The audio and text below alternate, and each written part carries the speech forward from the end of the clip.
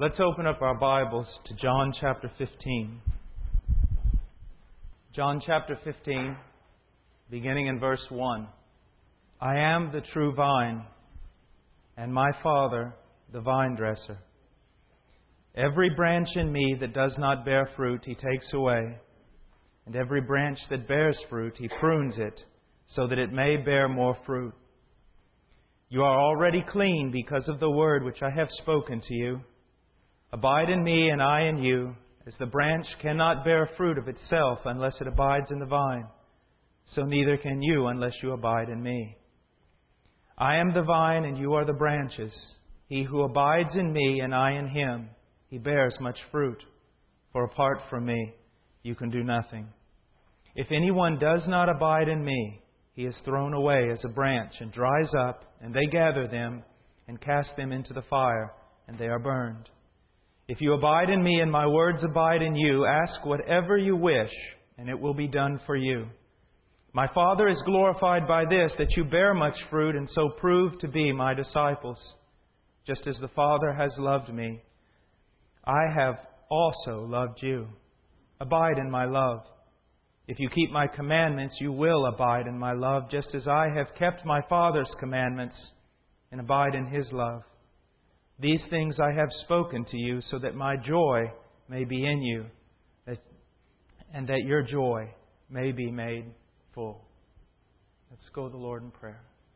Father, I come before you in the name of your Son and ask for your help, for your glory, and for the benefit of your people. Lord, let the inadequacy be mine and the competence be yours. In Jesus' name. I usually don't have I usually almost never preach with notes, and that might be my demise here this day. But this is not just a sermon for me. This is a product of struggling, a product of, of need in my own life. You know, sometimes we look at men who, in some shape, form, or fashion, have been gifted to do certain things, and we automatically equate giftedness with spirituality, giftedness with godliness, we couldn't be further from the truth.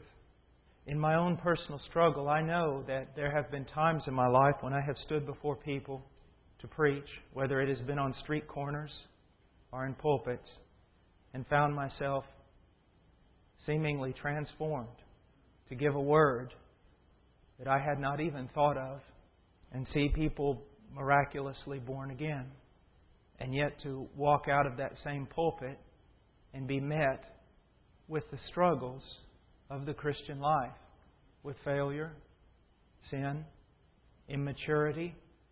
Think, do never, never, never think that someone that God uses is immune from these things. As a matter of fact, sometimes they may deal with these things gravely, very hard for them. I have sought, I, have a tendency towards perfectionism, and I have sought all the days of my life so many different ways to try to grow, so many methods, so many things. If I quiet times and fastings and prayers and and, and many of those things in their proper place and properly understood are, are excellent, wonderful tools that God has ordained. But they are not the source of growth. They are not the source of change, source of transformation. That is a person, and his name is Jesus Christ. And um, I think of the purpose of this sermon, I have selected a passage here. It's in Colossians. I'll just read it to you. 1, 9, chapter 1, verses 9 and 10. For this reason also, since the day we heard of it, it was the gospel, what's happened to these believers. He says, We've not ceased to pray for you and ask that you may be filled with the knowledge of His will and all spiritual wisdom and understanding, so that you will walk in a manner worthy of the Lord, to please Him in all respects, bearing fruit in every good work and increasing in the knowledge of God. My friend, there are just too many things in this passage for me to keep in mind, let alone do. So if I have to go through the New Testament and write out a list of things that I am supposed to do, even if I could do that, if I had the mental ability to do that, the intellectual prowess to do that, where would I find the strength? I think if a man took all these things seriously and then tried to work them out in a structural methodology, he would end in frustration and absolute insanity. I mean, where am I? How is this to be done? How am I to walk in a manner worthy of the Lord? How am I to please Him in all respects, bearing fruit in every good work? This is not a man sized job. Only God can do this, not some manipulating formula. Only God can do this. There comes a point in time in our life when God is going to work death into all our ideas and all our five different steps and five different ways and ten basic truths and four things God wants you to know. He's going to destroy all that and leave us barren except for Christ as our only fountain of strength and hope and life. It says here, and, and again, I don't plan on giving a powerful sermon today. And I don't plan on, you know, exciting anybody. And I don't plan on impressing anybody. These are things that, in my life, when I'm on the lawnmower, when I'm playing with my kids, these are things that have helped me. The first statement Jesus makes here, he says, I am the true vine. What does that mean? I hate to keep referring to Brother Leiter, but I have learned a bit from him as well as many of the other men here. But first of all, the thing that he says here needs to be listened to. He doesn't say, I am like a vine. He doesn't say, I want to be a vine for you. He doesn't say, I hope you'll take me as a vine. He says, I am the vine. I am that vine. But what is the vine? Well, first of all, recognize He is it. He's not hoping to be it for you. He's not waiting on the sidelines for you to ask Him to come and join you. He says, I am it. I am this constant vine. This is the reality. This is what I am. What does it mean? First of all, He is the source of all true spiritual grace, spiritual life, spiritual fruit. He is the source of it all. These glorious and divine things that God asks from you and I cannot be mustered up with human strength. They cannot be drawn from the barren well of our own humanity. They do not come out of dedication. They do not come out of devotion. He is the source. Not only a source, He is the source, the only source for anything that's ever going to be godlike in you. Anything that's ever going to be good, anything that's ever going to be spiritual, it is going to come from Him and no one else. And nothing else. We sometimes in our evangelical world, we look at the Catholicism and the way it's reduced itself down to ritual and, and methodology and, and means of doing things to get grace and all sorts of things. And I want you to know something. I see exactly the same thing in most of our Christian bookstores. You want this from God? Do this. You want to grow this way? These five steps. You want this, that, then follow these hoops. The only problem is those hoops will only lead you to frustration. They sell books, but they'll only lead you to frustration. He is the source.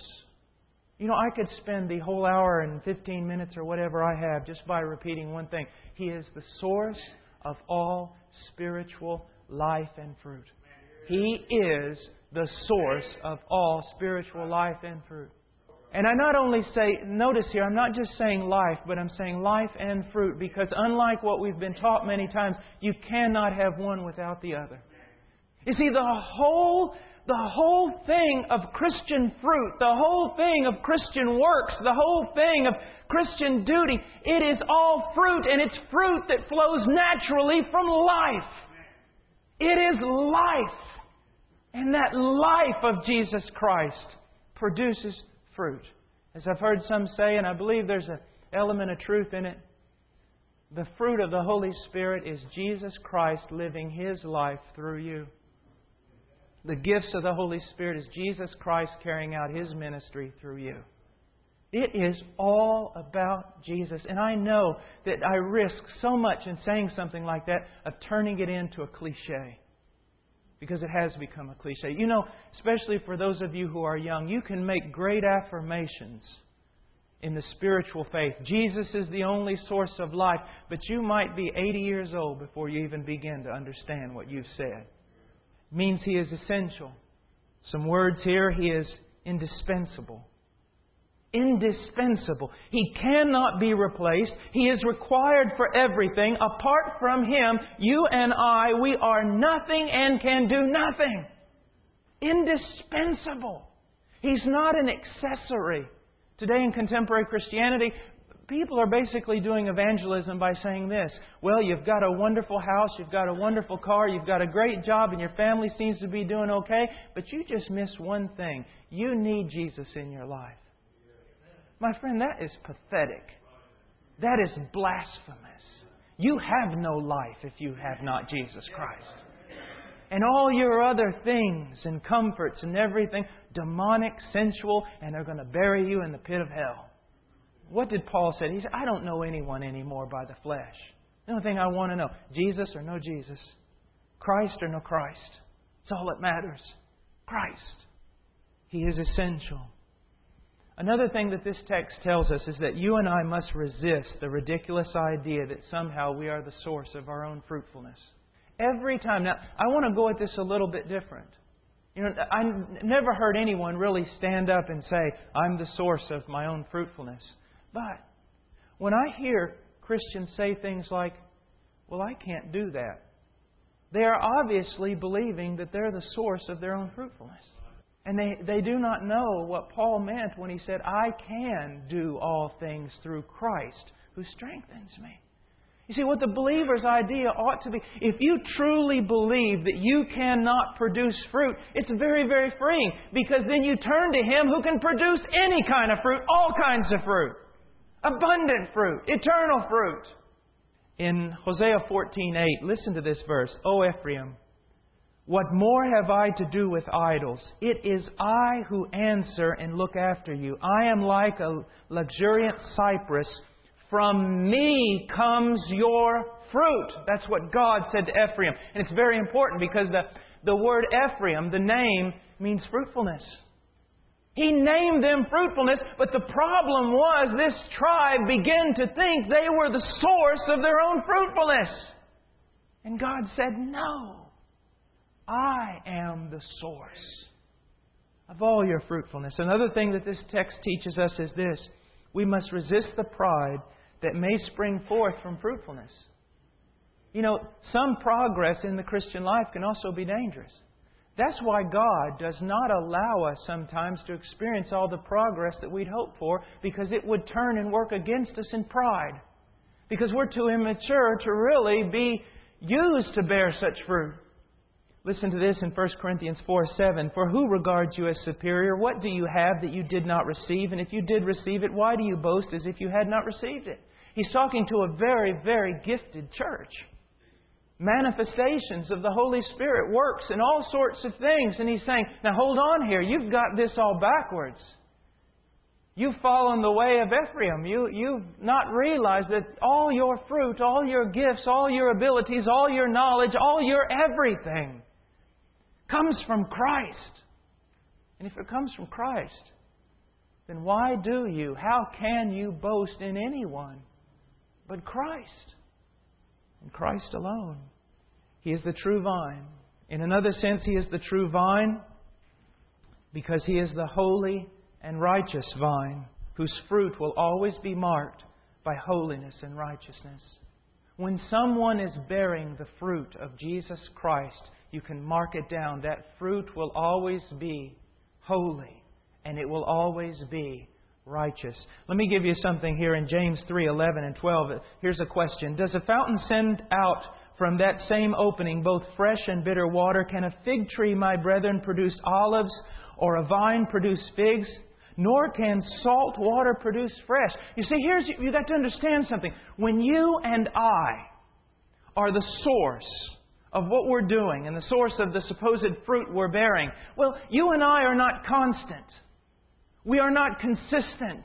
At one moment, we're doing something that appears to have the semblance of light. In another moment, we're, having, we're doing something that seems to be shadowed. In another moment, we're doing something that seems to be quite dark. You're seeing, saying one thing here that seems godly. You're saying another thing that's not. You're acting here in a way that seems to mimic Christ, in another way that mimics the flesh.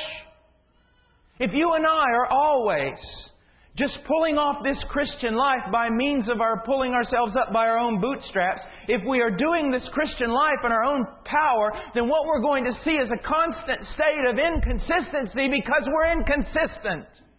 But when you're flowing, when the power and the life is coming from Christ, the fruit will not waver. Why? Because that source, that Jesus of ours, He is not a, a mixed source. He is not off colored. He is not partially contaminated. Whatever flows from Him is pure. Whatever flows from Him is righteous. That is why Brother Leiter made a statement about he had seen Christ in so many men, you know, reflections of Christ, semblances of Christ in godly men and women. And you know what's amazing, though, to me? And I don't despise my brothers for this. I've seen it in my own self. How you can see a brother who, who be filled with the Holy Spirit of God, and God has His hand on him.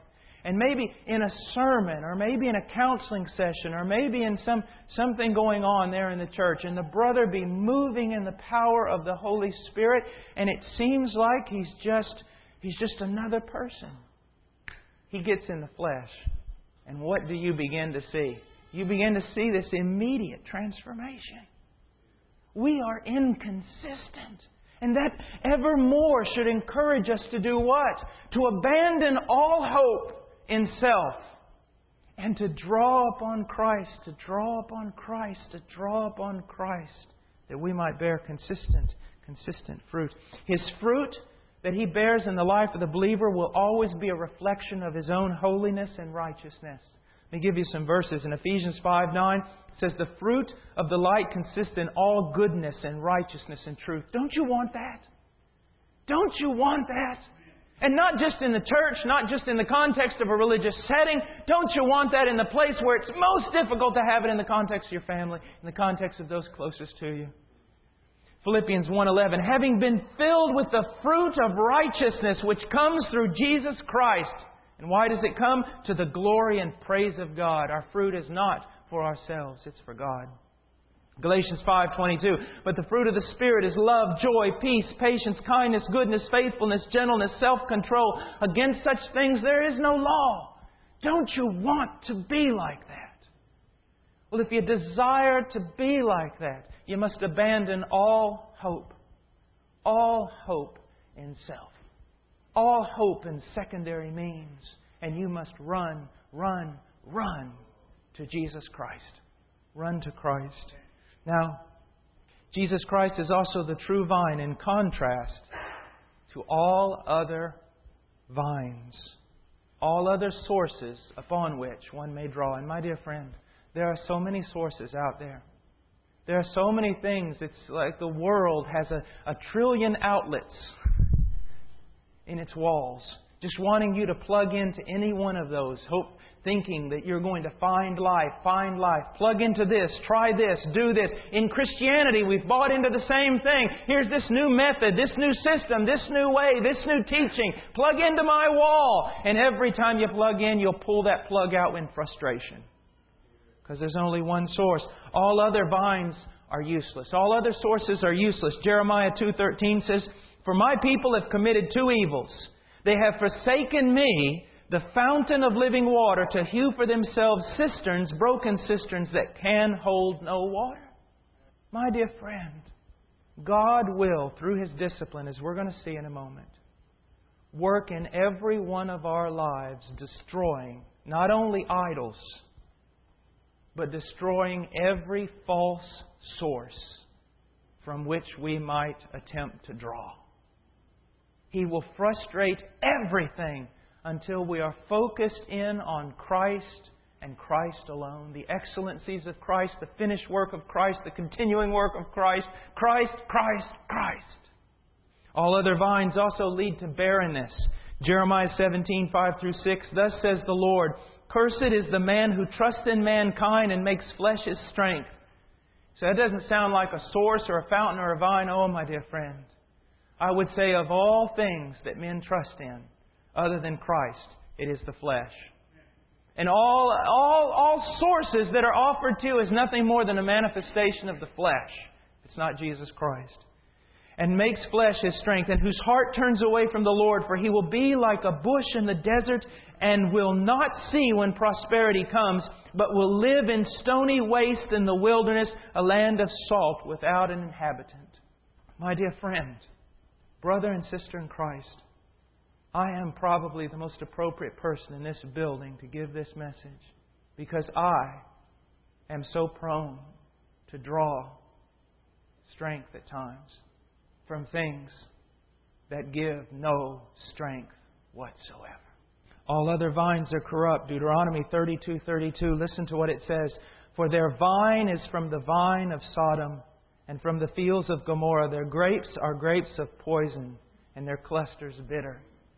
every other source, every other source of strength outside of Jesus Christ is a bitter source that will bear poison fruit. You take the most self righteous, the most disciplined, religious person on the face of the earth, and externally their works might appear to be pristine. Their fruit is bitter gall. It is poison. It will lead to damnation and hell. God accepts nothing from our flesh, but only that which is produced from the source of life that flows from His dear Son. Now He says here, in the next verse, He says, I am the true vine and my Father is the vine dresser. Every branch in me that does not bear fruit, he takes away. And every branch that bears fruit, he prunes it so that it may bear more fruit. In the ancient world, vine dressers were extremely important. How important were they?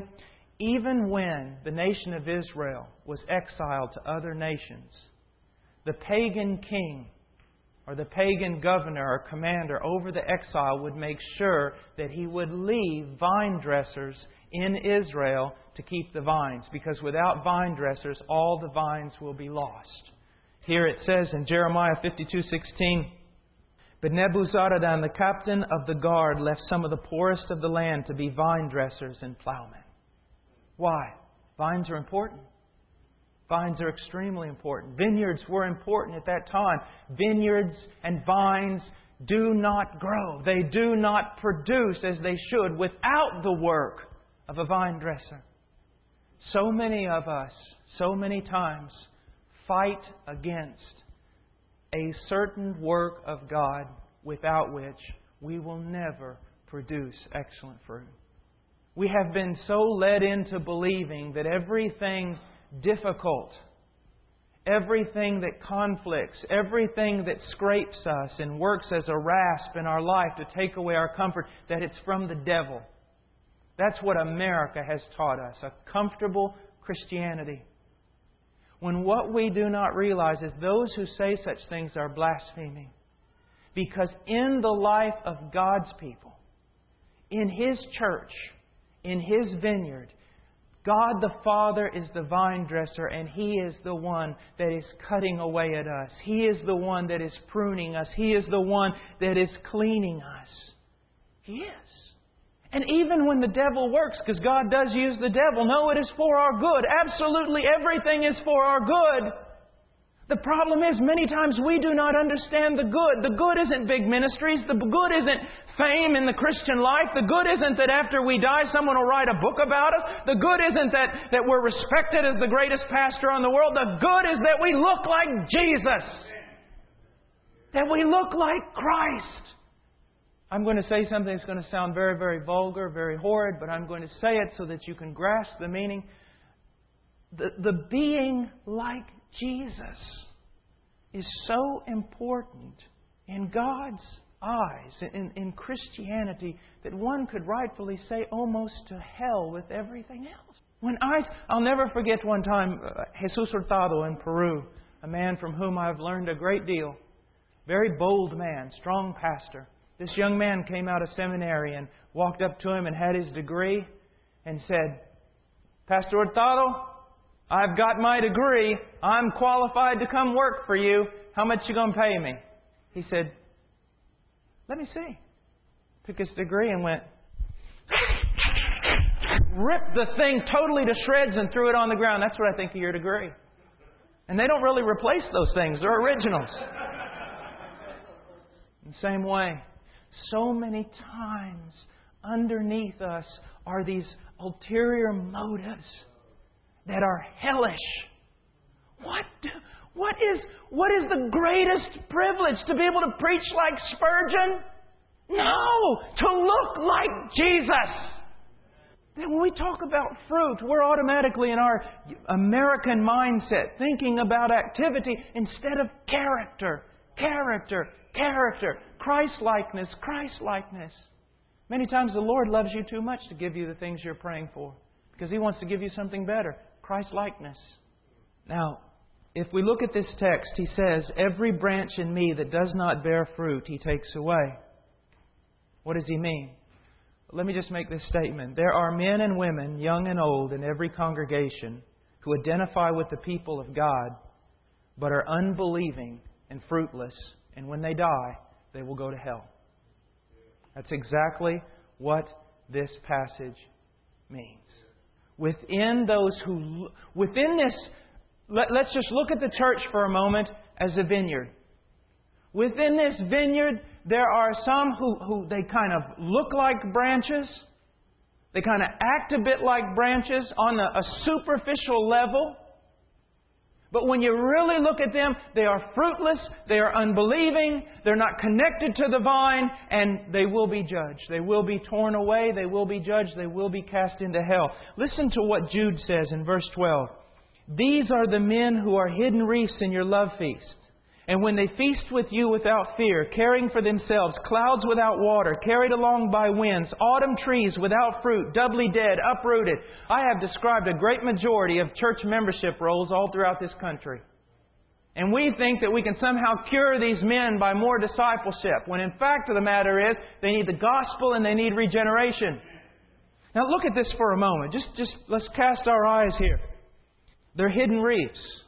They don't look like problems. They look like kind of everyone else. But underlying that, underneath where you can't see but God's eye can go, they're dangerous lot. They're traditionalists. They're religionists. They, they have religion, a form of godliness, but they deny the power thereof. They might bicker with you on rules. They might be in church every time the doors are open, but they're dangerous. Because everything they have is superficial, it is common, it is profane. Also, it says, they feast with you. They eat right with you. They, they participate in the supper. They go to your, the Lord's Supper. They participate in the, the feast that you might have afterwards. All these things, and you never recognize them. They're always caring for themselves. One thing you'll notice in an unconverted person selfishness is the greatest, it is the opposite of love. All they care about is self. Clouds.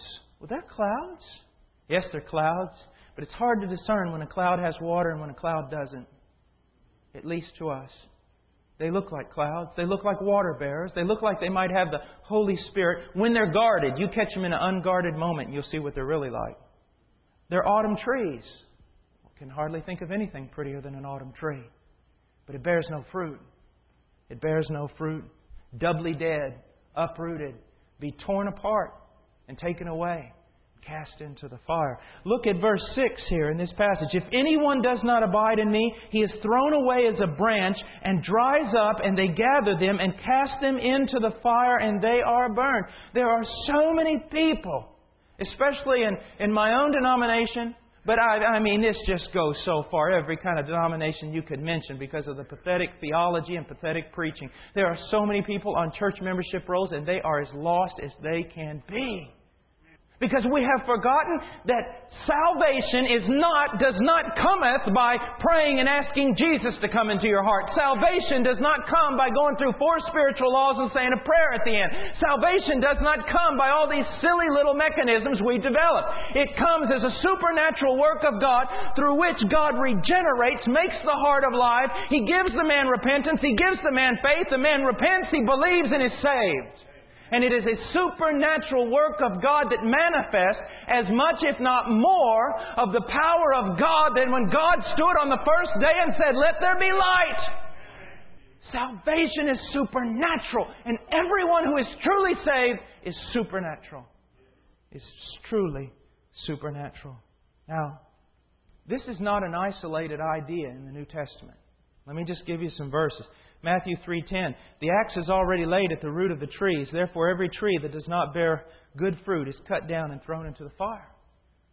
The, that was the announcement basically of the forerunner of the Messiah. He says, Look, Messiah is going to come. Let me give you a forerunner on just exactly what he's going to be telling you. You can be as religious as all get out. You can cross every T, dot every I. But if you're not connected to the vine, if you're not doing this in the power of the Holy Spirit, if you're not truly a child of God, you're going to be judged. Goes on and he says in Matthew 7:19, "Every tree that does not bear good fruit is cut down and thrown into the fire." Now let me stop here for a minute and say something. People who do not understand the doctrine of regeneration. You know, the word that's used commonly today is born again. I don't use that word because 99% of the people couldn't even give you a biblical definition of what they're saying. They think born again is praying and asking Jesus to come into your heart. They don't realize born again comes from these passages in Jeremiah, these passages in Ezekiel, where he says, I am going to do supernatural open heart surgery. I am going to remove your hostile, God hating heart that you were born with. I am going to take it out of your chest, and I am going to replace it with one created in the very image of God, and you are going to love me because you're going to be like me. It is a supernatural work of God. Many people will read these passages and say, okay, you know, you got to believe in Jesus, but you have to have works too, or you're not going to heaven. They do not understand salvation.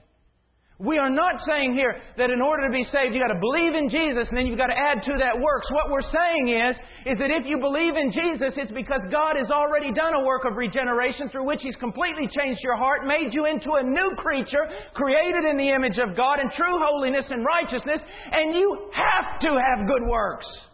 Because just like a sinner has to sin, the righteous have to do righteously. Now we should remember something that God is able to cut off and burn branches. Let me read you a passage in Ezekiel 19:12. Speaking of apostate Israel, it says, Its strong branch was torn off so that withered, the fire consumed it. I don't care how your strong your religion is. I don't care how strong your church life is. I don't care how strong your morality is. That day of judgment, God will tear it down. Tear it down and it'll wilt. It'll wilt. Whenever humans declare themselves to be righteous, they are doing it by contrasting themselves with other humans who are worse. And you can get away with that. But when your righteousness is contrasted with the righteousness of God, there is nothing but to throw yourself down and declare your morality to be dung. Now, the Father judges the fruitless unbeliever, but He also disciplines the believer. Says, Every branch in me that does not bear fruit, he takes away, and every branch that bears fruit, he prunes it so that it may bear more fruit. Believer, here's really the question. In a type of contemporary Christianity that makes comfort its goal, you're going to have to make a decision. What do you want? Do you want to bear more fruit? Or do you want to be comfortable and just grow wild? I can remember one time in Peru prior to having both of my hips replaced, and arthritis had eaten my hips to the point of almost not being able to walk anymore. Every day was a trial, every day was a struggle. The pain was incredible. And I walked out on this balcony one morning in Lima, Peru, and it was wet and rainy, and the humidity was horrible, and my legs were hurting so bad. And I was tears running down my face, and I walked out there. I limped out on the patio, and I looked up at God, and I said, Why? I hurt so bad. No, I did not hear a voice. But I knew exactly what the Lord wanted to say to me. Paul, dear, dear son, this is exactly what you asked me for. And then I remembered all those times in college after my conversion, all those times in seminary, when with other believers, you know, we would pray through the night and say, Oh Lord, anything you have to do, Lord, to make me like Jesus, do it. You know, you, some of you probably, Lord, kill me if it's necessary. And I think He allows us to pray like that in ignorance because if we really knew what we were asking for, we would be too fearful to pray it. The word that He uses here uh, for prune is the Greek word from which we get the English word catharsis, which means to cleanse. To cleanse. It doesn't just mean to nip and tuck or shape or mold, but also the idea here, he's moving it into a spiritual realm. It means to cleanse, especially of filth and impurity, that which hinders our spiritual progress. Do you? Is it your greatest passion to, to produce the, the character of Jesus Christ?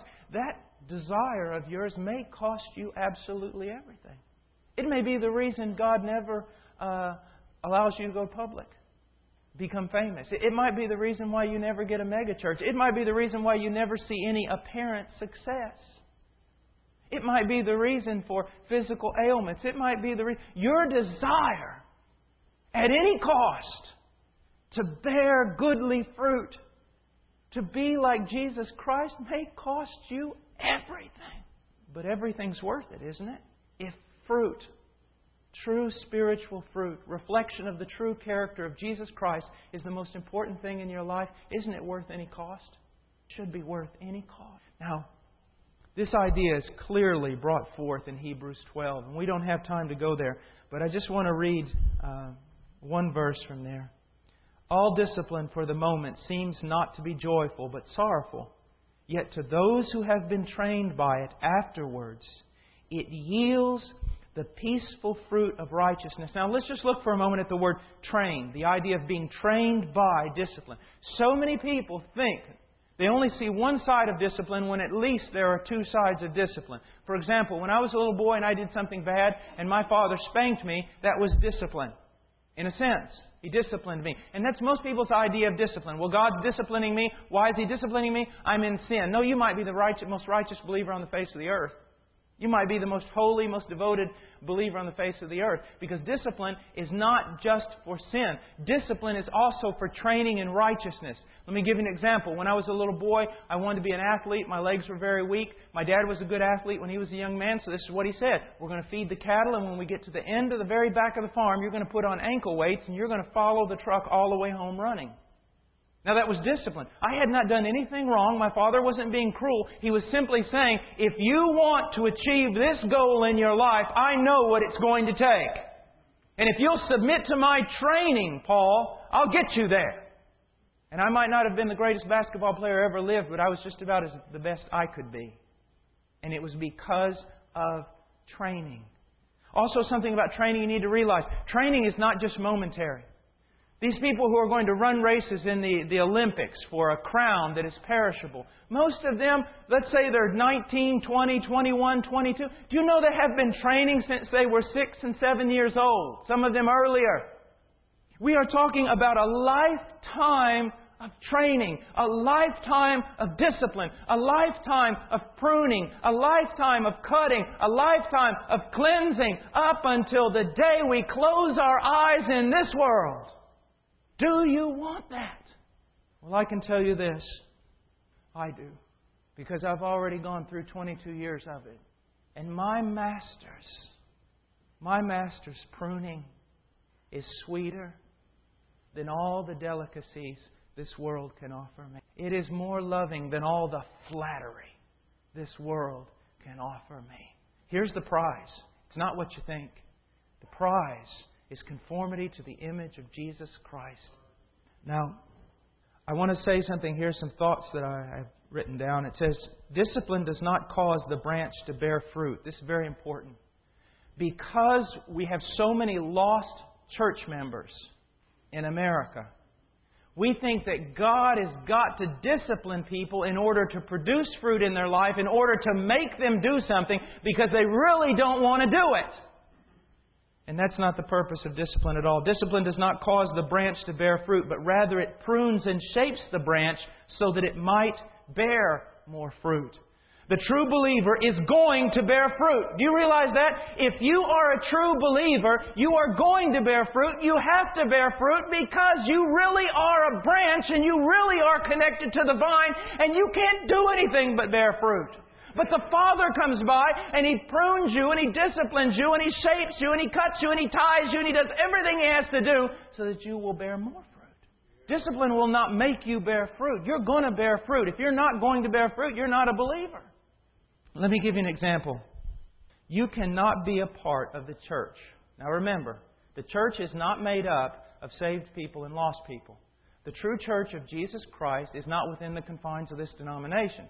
The true church is every person who has truly been regenerated by the Holy Spirit, whose nature has been changed. Every true child of God. Now, you cannot be a part of the church without producing fruit, and that ought to frighten us. How many fruitless people go to church on Sunday? You cannot be a part of the church without producing fruit because in Matthew 21:43 Jesus says, "Therefore I say to you, the kingdom of God will be taken away from you and given to a people, literally a nation, producing the fruit of it." The work of the Father also, something you need to know, must be inward and downward before it can be outward and upward. Let me say that again. The work of the Father must be inward and downward before it can be outward and upward. In other words, it's going to be a hidden thing before it becomes a seen thing. So much of God's work, and this ought to be encouraging to you, is a hidden work, a preparing work, a secret work. Down and in, down and in, down and in. And eventually, it starts to reveal its fruit. And there's a passage, a beautiful passage in the Scriptures in 2 Kings 19:30 it says, "The surviving remnant of the house of Judah will again take root downward and bear fruit upward." And here's this idea again. It's not an organizational idea, it's the idea of an organism. That this organism takes root in some source, and being rooted and grounded in that source, it produces fruit naturally. This is not a work, this is a life. It goes on. Also, something very important that will be encouraging to you the fruitfulness promised to every believer may take a few years to accomplish. The example of God's promise to Abraham, Genesis 17:6, I will make you exceedingly fruitful, and I will make nations of you, and kings will come forth from you. That took a long time. How many of the prophets of old believed the promises and died believing them? The point that we're trying to take here is not that a believer will wait all his life and never produce fruit, but the point we're trying to make is that God's work in the believer is a mysterious work. There's no little book written of how God's going to work the same way in every believer. He's going to do an inward, hidden work, but it will sooner or later manifest itself in abundant fruit, and we must be patient, we must wait, and we must believe the promises. Never forget Matthew. Never forget Matthew. Blessed are those who hunger and thirst for righteousness. Why? They will be filled. They will be filled. He goes on and he says, another thing, fruitfulness seems often to come in seasons. This is also something. I have noticed in my own life that it's not every day there's an abundant harvest coming off of Paul Washer. In the same way that in, in the crops that we have planted on our farm, there's not fruit yet. We see this uh, in Acts 14:17. And yet he did not leave himself without witness in that he did good and gave you rains from heaven and fruitful seasons. Periods of fruitfulness, periods of rain, periods of plowing, periods of all sorts of different divine works that sooner or later will manifest themselves in fruit, and they must manifest themselves in fruit because God never does a work that fails. Also, in periods of apparent fruitlessness, we must trust the Lord. That is another very, especially for some of you young fellows in college or you're going to seminary and you're just wondering when, well, you know, I want to do something. Well, be very careful of that language you're using. I don't want to do anything anymore. I want to be something. I want to be like Jesus. If, if I get my ontology right, everything else is going to fall in place. Don't concentrate so much on doing something. Concentrate on being something. There are apparent fruitlessness, seasons of fruitlessness in our lives. In Habakkuk 3:17 through 18 it says, Though the fig tree should not blossom and there be no fruit on the vines, though the yield of the olive should fail and the fields produce no fruit, though the flock should be cut off from the fold and there be no cattle in the stalls, yet I will exult in the Lord and I will rejoice in the God of my salvation. Also in Philippians 1 6, for I am confident of this very thing, that he who began a good work in you will perfect it until the day of Christ Jesus. You know, one of the greatest problems in Christianity today, and one of the greatest problems in Christian ministry or ministers today, is that we no longer believe there's a need for a hidden season. Jesus, 30 years for three years of ministry. John the Baptist, at least 30 years for what? Six months of ministry. Moses, 80 years of hiddenness to bear this great, overwhelming fruit of God redemption of the people of Israel. No, we just want to jump out there, don't we? We want to do something instead of waiting to be something. I can think of times where God has hidden me in His fold. And I want to tell you something. Being up in a pulpit, doing things like that where everyone can see, is not necessarily the sign that God's hand is upon you and that He's going to use you. But when God calls you into that hidden place to be alone with Him, my friend, that's the sign. That is the sign.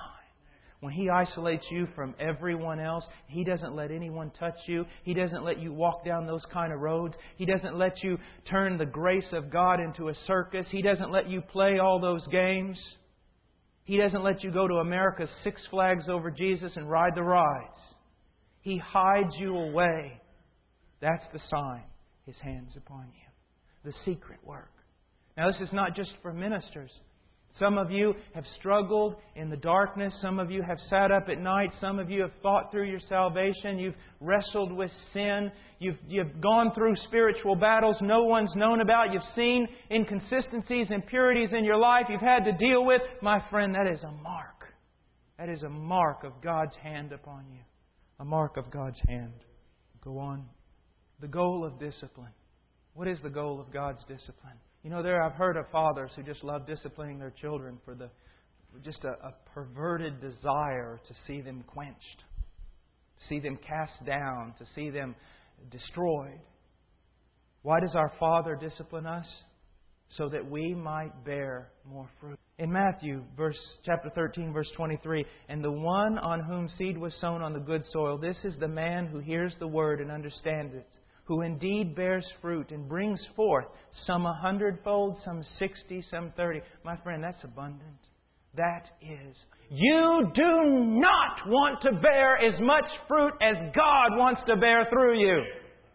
We somehow think, as just a statement that just keeps going through my mind over and over, somehow we think we want more of this spiritual life than God wants to give. And that is completely the opposite. If anything, the greatest sin of the church is not believing about this great fountain that rushes forth from that rock. I want us to go on. He says in verse 3 You are already clean because of the word which I have spoke to you. There is a real sense which both this needs to be seen as something done and something being done. There is a real sense in which the believer is clean through the word that is spoken to that believer and that they believe. They are clean. That's what Brother Mac talked about when he said positional sanctification. They are clean. But there is another real sense in which God continues to do a work, continues to do a work of sanctification in your life. We have got to begin to realize once again that in salvation I was saved, I am being saved, and I will be saved. That this is a continuous work. Salvation is not some flu shot when you knock on someone's door and you say, Sir, can I tell you about Jesus? And they say, I've already done that. And you say, Sir, I'm not talking about a flu shot. I'm talking about Jesus. Well, I've already repented. Well, sir, if you're not repenting now, you didn't repent then. Already believed. Sir, if you, that was a one time thing for you, you're lost. You repent and you continue repenting. You believe and you continue believing. God has cleaned you. He continues to clean you. One day you will be clean. And I want to tell you something that I don't think is spoken of enough because some people would take it for pride. But I'm going to say it. In some aspects, it's true in my life.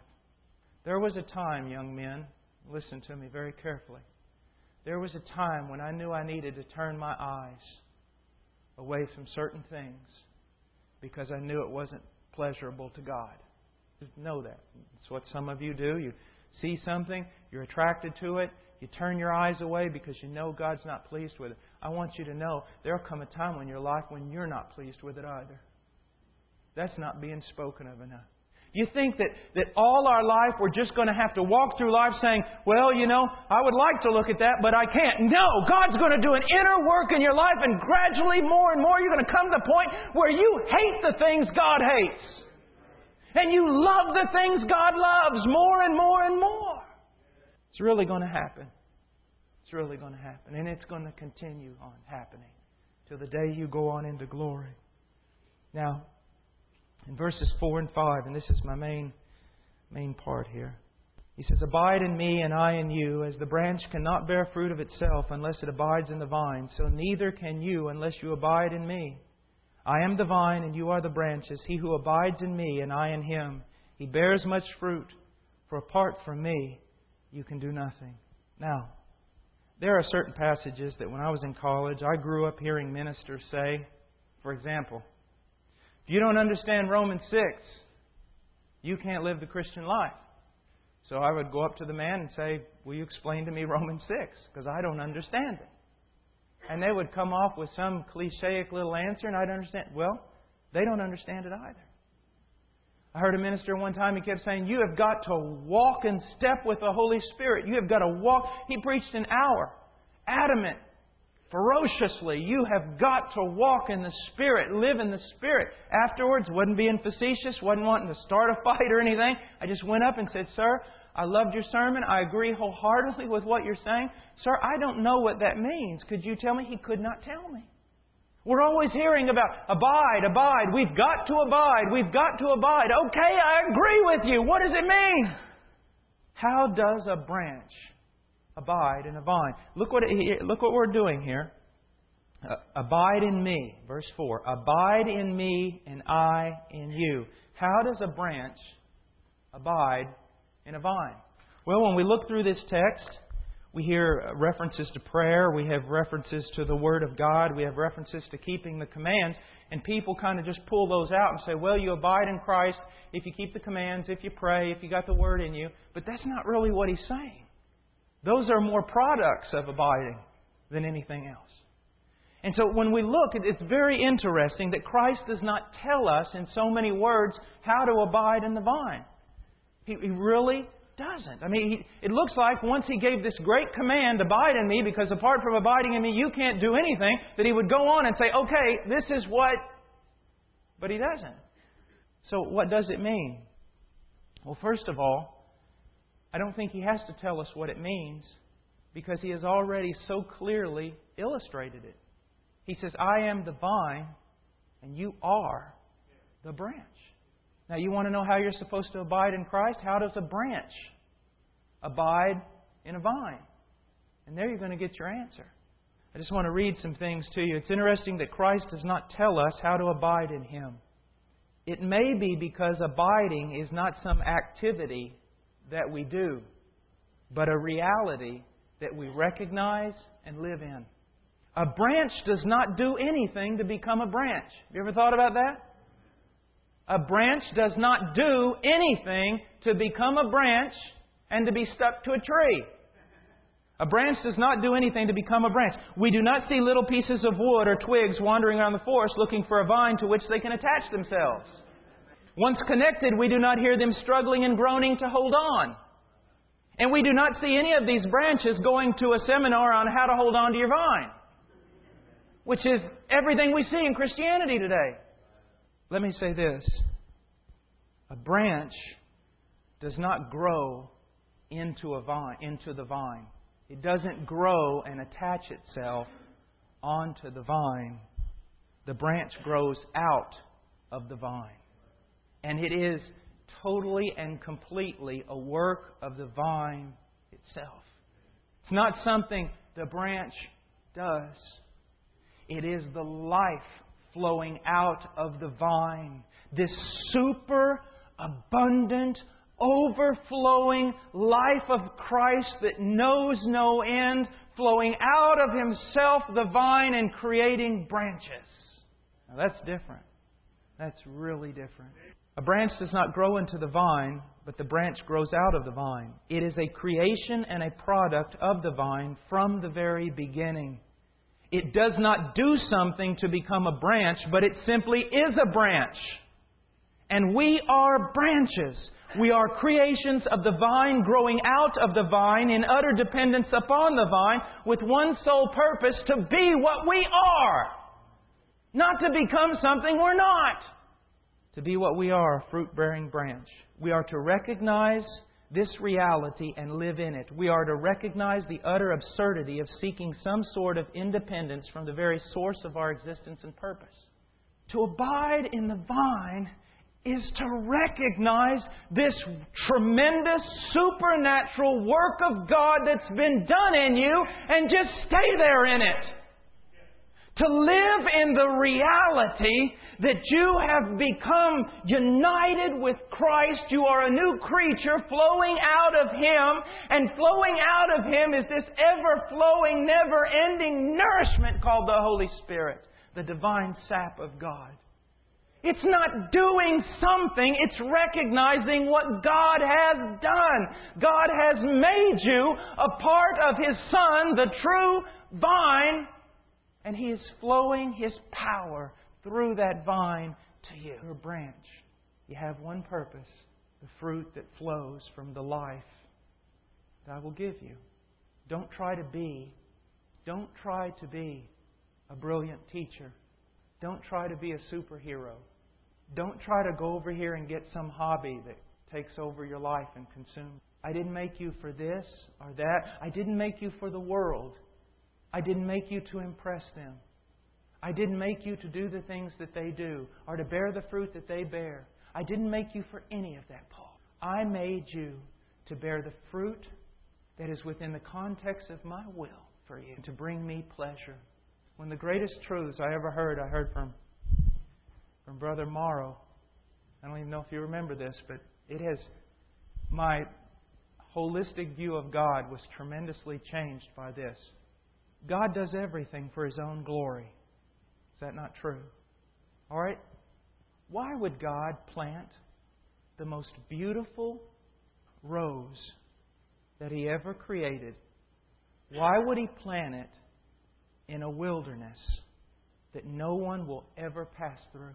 I mean, why would He do that? No one will ever see it. How will He be glorified by it? How will. I'll tell you how and why. He did it for Him. He did it because when He looks down at it, He'll say, I like this. I want to tell you something, and this will help you. I have not mastered this truth. Don't think I have, but this truth has been a great comfort for me. I want to be that rose out in the middle of that wilderness. That's the ambition. One day, dear friends, when the kingdom of God comes in the fullness of its power and the Son of Man comes with all the holy angels, we are going to just be literally shocked by one major thing that's going to happen all these hidden, little, unknown believers that were not movers and shakers, that were not famous, that were not in, that were over here just like locked away in a closet, shut up to God. Eh, they are going to come forth shining like the sun. Right now, my little boy, all he needs is dad. I mean, he's oblivious, literally, to like little buddies and friends and everything else. It's dad. Dad, let's go do this. Dad, go. Everything, everything he does, he looks up. Dad, did you see this, Dad? Look what I did, Dad. There'll come a day, and it's a natural course of life, where he'll want to show other people stuff. Now, that's a natural course of life. There's no reason to be depressed about it or anything. But see, in the spiritual realm, that's never supposed to happen.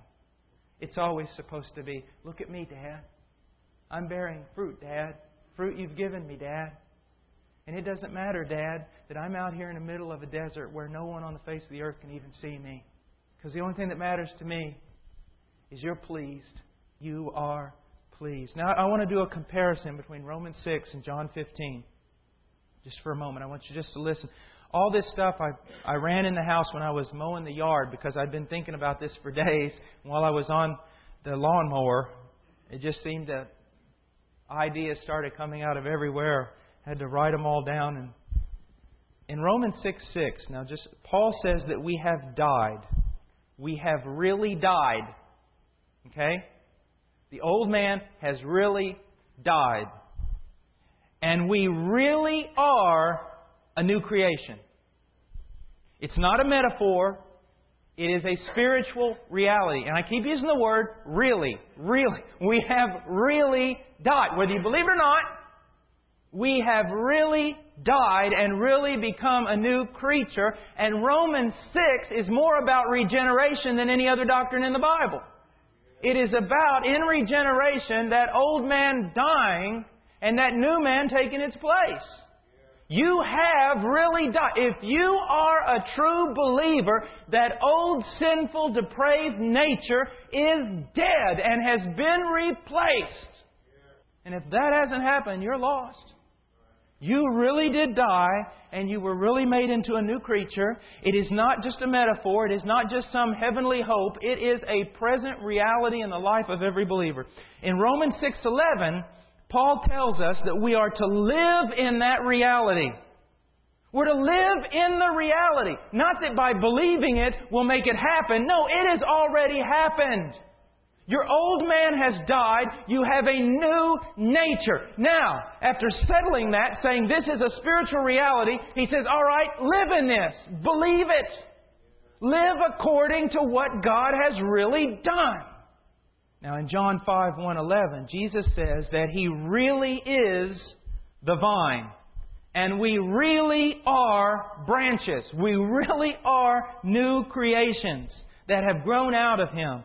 All our life flows from Him, and by nature of what we are, by nature of what we are, we have one purpose to, to bear fruit and glorify the Father. To live in any other way in any way that contradicts or conflicts with this spiritual reality is to live in a fantasy world. It is ridiculous and will always end in absolute frustration. It is ridiculous. I, I love to make hunting bows. I'm making a big, tall English longbow right now, and it shoots arrows very clean. Terrible guitar. Can't play a song on this thing. You can shoot an arrow with it, but you can't play a song on it. Why? It wasn't made to play songs. It was made to shoot arrows. You have been recreated. You have been remade. And this is not a cliche. I am not just talking like some flowery preacher. This is a reality. You have become a new creature. And that new creature was not made for sin. It was not made for the fruit of unrighteousness. It would be absolutely a perversion to take this new creature and try to make it do something like that. You are a new creature made to produce righteous fruit. Again, I want to say something to you. This has been a great help to me. This has been a great help to me. The other day, I want to give you an example. I, I turned, my wife was talking to me, I turned. I said something I shouldn't have said to her. I mean, it was just a small thing, but it was something I should not have said. It's a tiny thing. Voice just a little bit altered in the wrong way. I mean, it wasn't a violent crime. It was just, and I stopped and I said, I, I just stood there based upon this truth. I stood there and I said, This is not me. That answer I just gave, that look on my face, that is not me. This is not the new creation. I am not like this, and I'm stopping it right now. And I turned around and I said, Charo, this is not me. I am a new cre- created in the image of God in true righteousness and holiness. I'm to be patient and kind and loving and forgiving. Forgive me because I've acted in a way that is that conflicts with who I really am. I will not give in to this because this is not who I am anymore. I want to tell you something. It was like it wasn't quite as uh, dramatic, maybe, as uh, Brother Matt Gandalf back there when he told sin, "You shall not pass." but but I want to tell you something. It got the job done. It got the job done. Let's pray. I thank you for these truths that have helped me, that have helped me. And I pray, Lord, that they will help your people. In Jesus' name, amen.